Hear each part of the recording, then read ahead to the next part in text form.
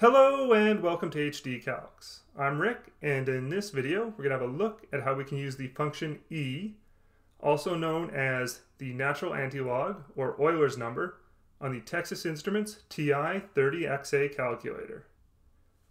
To do this we use the second function key that looks like this, located here, the ln key with the second function of e that looks like this, located here, the positive negative key that looks like this, located here, and the bracket keys that look like this, located here.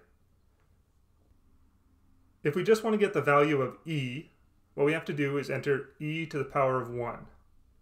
To do this, we start by entering our exponent or power. So in this case, 1, and then press second ln, with the second function of e to the power of x, and we see we get a result of 2.71828, etc., or e. If we want to find e to more complex exponents, we need to use our brackets.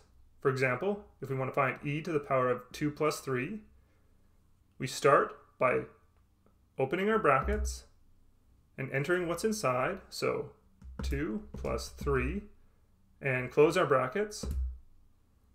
And then again, we press second ln and we get a result of 148.41315, etc. We can also get e to a negative power or exponent. To do this, we need to use the positive negative key. Again, we start by entering our exponent on the screen, so 2 and then to change this to a negative, we hit the positive negative key.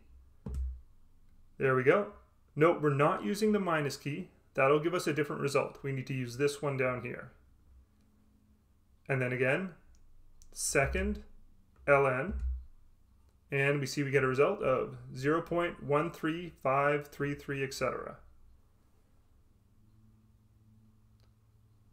All right, I hope this helps, and good luck on those tests out there, everybody.